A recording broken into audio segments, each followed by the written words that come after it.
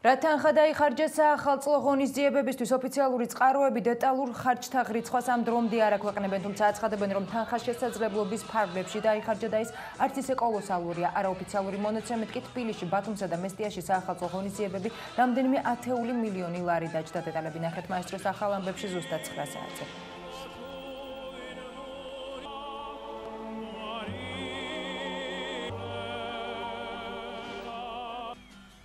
რაც მაქვს ინფორმაცია.